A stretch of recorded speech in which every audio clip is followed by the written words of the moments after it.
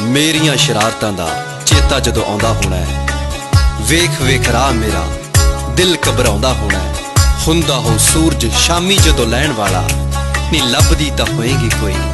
ਜਾਨ ਜਾਨ ਕਹਿਣ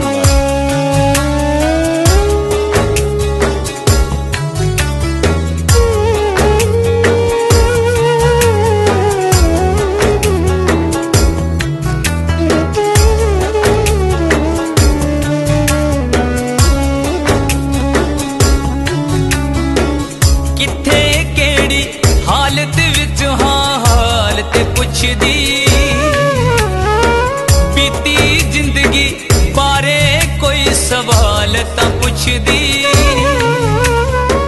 ਕਿੱਥੇ, ਕਿਹੜੀ ਹਾਲਤ ਵਿੱਚ ਹਾਂ ਹਾਲ ਤੇ ਪੁੱਛਦੀ। ਬੀਤੀ ਜ਼ਿੰਦਗੀ ਬਾਰੇ ਕੋਈ ਸਵਾਲ ਤਾਂ ਪੁੱਛਦੀ।